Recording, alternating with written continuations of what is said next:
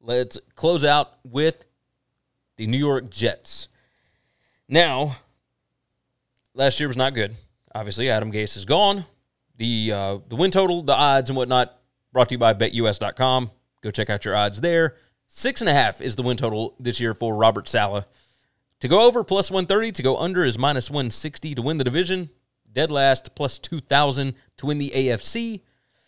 Way, way, way, way, way down, plus 6,600 to make the playoffs. They are plus 450. To not make the playoffs is minus 750.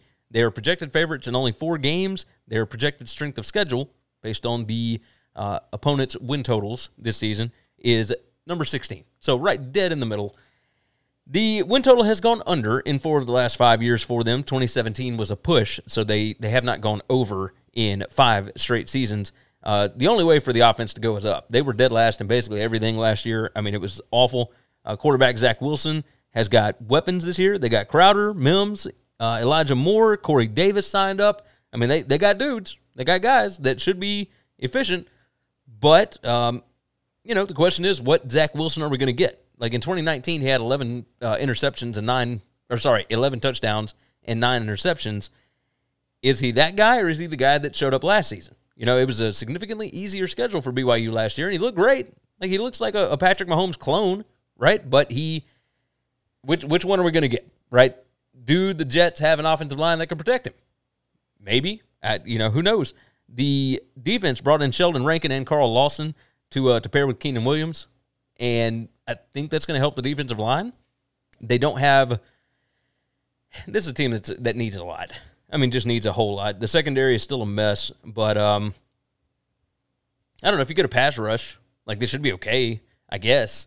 Uh, I've got them going under the six and a half until I see some semblance of continuity, some semblance of team chemistry that's being built here, and and it hasn't happened yet. It hadn't happened for years. So until I see a win total actually go over with them, I'm going to bet the under. Uh, even even here, like I, I've got them winning four games, and I, I don't know that they'll win four games.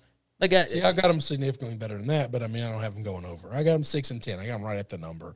Um, But six- six and a half, 11. I can't get them over. Yeah. six and eleven. Yeah, Yeah. sorry. Yep. I'm, so I'm do that for a while. I'm four and thirteen. Uh, you know, at, to, to not make the playoffs is minus seven fifty.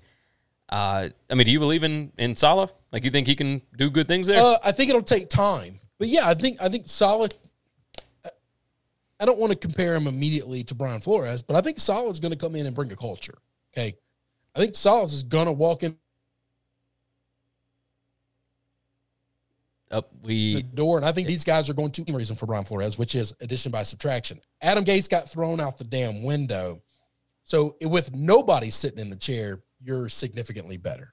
yes. I think you bring in a, a guy that's a tough, hard nosed defensive guy. It's almost like they saw what happened to Miami and said, we got to do what Miami did. We can't bring another offensive guy in. We need somebody who's going to come in and make this team tough. That's defensive guys, not offensive guys. I don't need a brainiac to walk in here. I kind of need a meathead. And and they went and got a guy who brought in an offensive play caller that's going to run a Kyle Shanahan style zone blocking scheme um, which is strange. I'm really curious can this team run the football? Um, and what will that look like? Um, but I, I think they will be significantly more improved than they were over the last couple of years under Adam Gase. I, I, I think, think so. Saleh's that big of an improvement from them.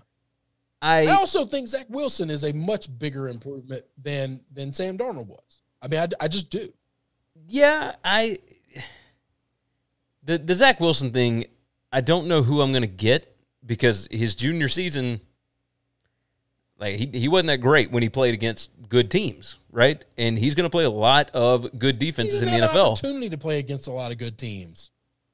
That's, I, I mean, mean, the rest of his team wasn't that good against good teams either, though, Gary. Well, but that, Like that it's not team, like he had Elijah Moore on his on his wide receivers out there. Okay, uh, agreed, agreed. like he had other twenty eight year old Mormons that were white guys running, uh, you know, catching his passes. Yes.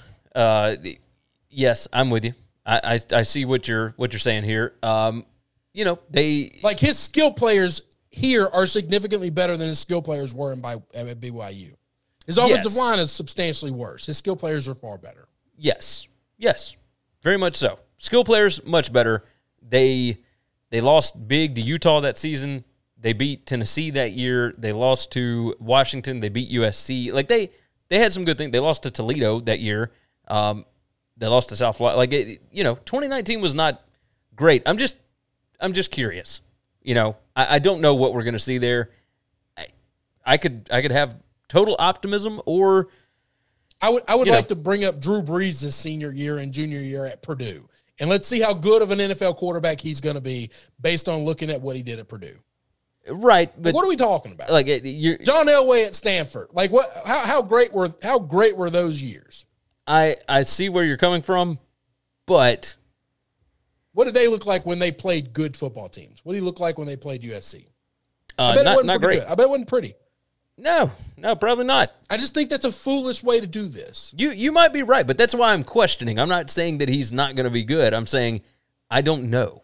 I don't know if he's going to be good. We've he's going to be tossed out into the fire We've though. seen guys come from small schools be great quarterbacks for a long time. yes, long, long time. Yes. If Russell Wilson never makes the trek to Wisconsin, Russell Wilson's still the guy that he is today.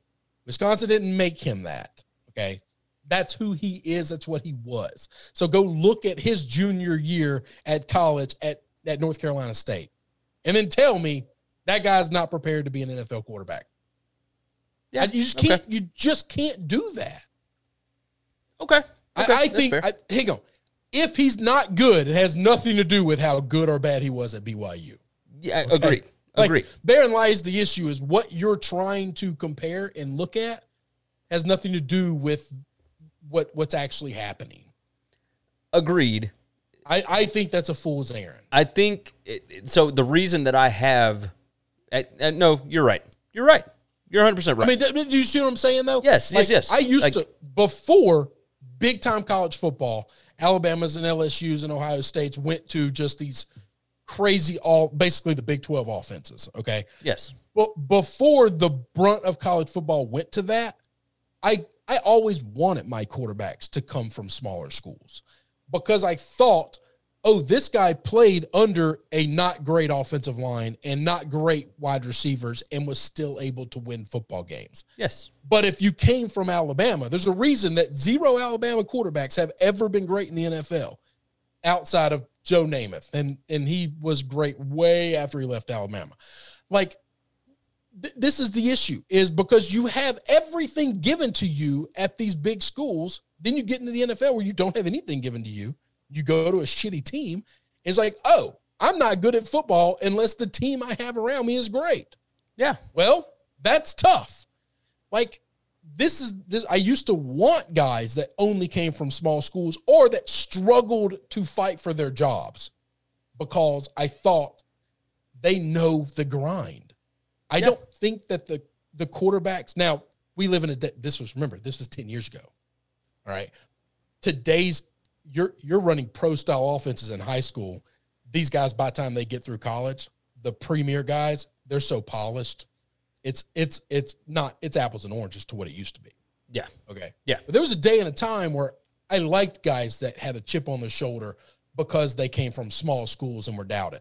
All right. yeah, yeah. So I'm I don't think that the small school has anything. To, I just want to look at your skill set. I look at Zach Wilson's skill set, and I said he has everything he takes to be good. I didn't see that at Carson Wentz, and I didn't see that in uh, Jared Goff. Okay. Now I was right about Goff, I think, and I was right about Wentz, I believe.